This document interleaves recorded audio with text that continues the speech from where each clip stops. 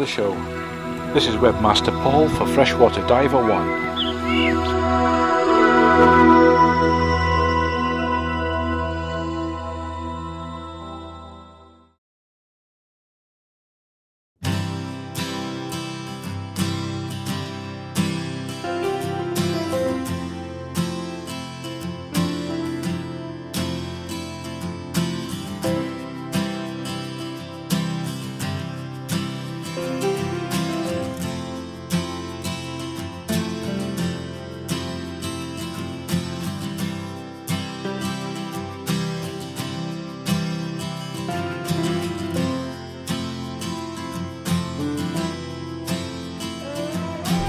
Watching these videos in sequence will realise that last week we were at Lyulph's Tower and we're just now leaving that car park to go to Aira Force.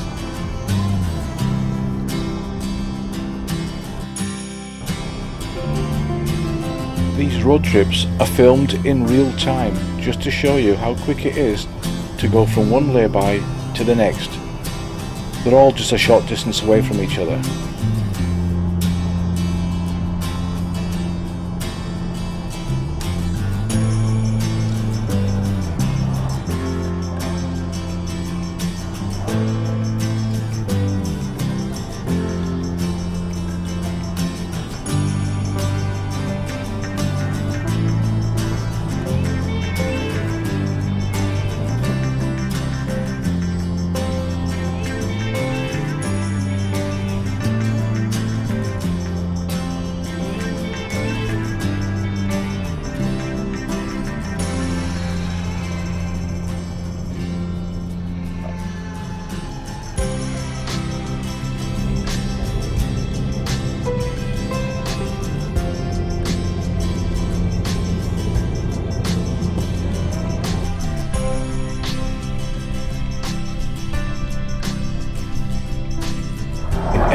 Car parking is £5 per two hours.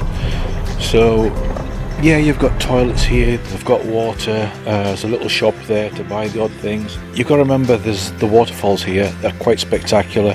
It's a long walk around those, and that alone will probably take you about an hour to an hour and a half if you're quickish. So, you might want to stay here four hours, but however you work this, uh, family can go to the waterfalls where you can go diving, kayaking, whatever you're into down at the beach, which we'll show you next. So out of the car park, down this path, across the road. And here's your gear.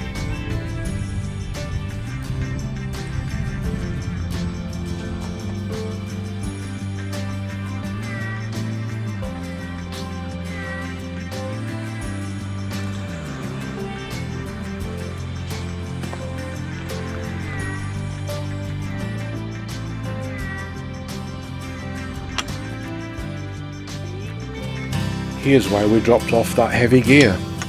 We now have a 3 to 400 meter walk, but it's along this pleasurable scenic path you see before you.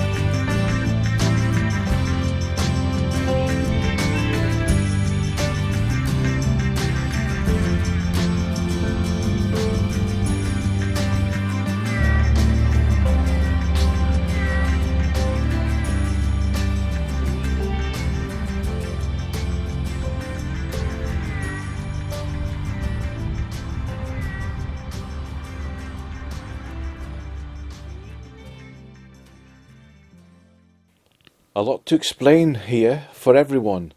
Some bathers use the grassy area you see with fold up chairs and tables. Very posh indeed. Meanwhile, paddle boarders furiously pump away with their inflators, whilst kayakers and canoers effortlessly slide into the water and head off on their next adventure. For divers, we have a sensitive matter to explain here. Now, the this Ullswater dive is pretty decent. There is a trench almost directly south that drops to 60 metres, but this is an altitude dive, which means 43 max on air. The dive plan was agreed to do 20 metres and then to follow that contour for 15 minutes, with me on the left side, the deeper side as we turned right, before moving into shallower water. That's towards the shore on the right side. It was my first dive at this site, with one of my dive buddies from Sunderland being dive leader on this occasion. Her husband and my better half giving shore cover to us on what was a very hot, sunny day in summer. We headed straight out, following the gradual slope down to our planned depth of 20 metres, then to the northwest shore, looking for 9 metres when my buddy found something which should not have been here. That find saw me asking questions and putting in some book grinding research on this area, which I'll cover shortly. So the scene was set as 40 odd sunbathers watched in awe as we trundled down to the beach front in full kit. We were sweating buckets until we let rip with our dry suit direct feed pressure inflators. Thank heavens! Sweet, especially after purging the excess air. Phew! For those unfamiliar with dive gear, that pressurized air means we go from 130 plus degrees to minus 10 in a few seconds.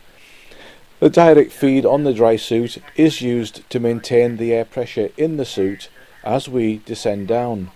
Without it, the suit would compress down and crush us. Anyone for diving? it's not that bad, guys.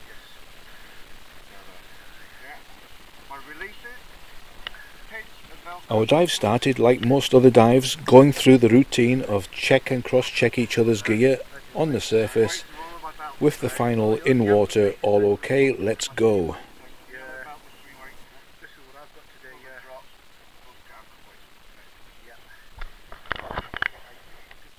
We headed straight out, following the gradual slope down to our planned depth of 20 metres, then to the northwest shore, it was to then find 9 metres and return around the bay, which we had guessed would see us just off from the pier end after about 33 to 34 minutes.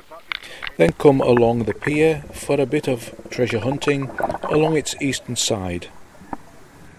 But as we headed around and coming up to 18 metres, I think it was, for the shallower 9 metres, my buddy grabbed me and asked me to clean something. So naturally, I was saying, No, I'm not going to clean that filthy thing. but after a little bit of a banter, yeah, I folded and I asked for it and proceeded to clean. Okay, so it's a metal tube and a signal back. I told her scrap value five pounds, but then I felt a flat end with a ridge around it and I thought immediately that's odd. When I got to the opposite end of this pipe, it was cone shaped. Very gently, I pla- placed it gently back on the seabed, but once again grabbed by a very exasperated diver, signalling I'm mad, what am I doing? I said it will blow, leave it, but she insisted and tried to bag it in her goodie bag. Well, it was a bit, little bit large for the goodie bag, but she managed to carry it along. So eventually we got to where we thought we would be, just at the end of the pier, and right enough as we turned in, up come the uh, stumps of the pier, and uh, so we carried on with a little bit of a ratch around the pier, looking for the old buried, well, surface treasure really on on the bottom of the uh, lake bed there. But uh, as we arose out of the water, and I have to tell you, she when she's excited, she gets very vocal. Um, and husband and my better half were over there doing the show cover for us. But she shouted out to her husband in front of some 40 odd innocent sunbathers, We've found a bomb! Can you dismantle it? Now, her husband used to do this sort of work, but the crowd, on hearing this news and seeing this large object in her hands, they simply jumped up and ran for cover. Such a commotion. Um, I don't think we'll ever see that again. But uh, oh boy, I wish we had GoPros back then. The husband came running down with my good lady.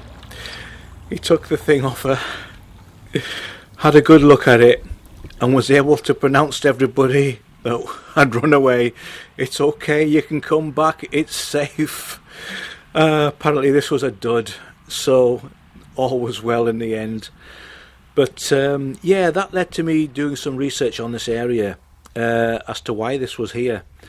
And I actually discovered that this tranquil and peaceful place right now was back in World War II a mortar training area for the army. And I learned that they made wooden rafts which would then be out, taken out into the lake and anchored not too far off the shore with the idea of hitting them with these mortar shells that they were practicing with. Now I also discovered quite accidentally that the RAF used to do the same or used to use the same idea out at sea for bomb dropping practice around the Moray Firth to mention one area hint hint to the divers out there so for anyone that was there on that day and recalls that having just heard this, we do apologise. So to those planning to dive this area, yeah, if you if you've got your hands down in the silt and you feel something hard, it might just be one of these mortars. So play safe out there, guys.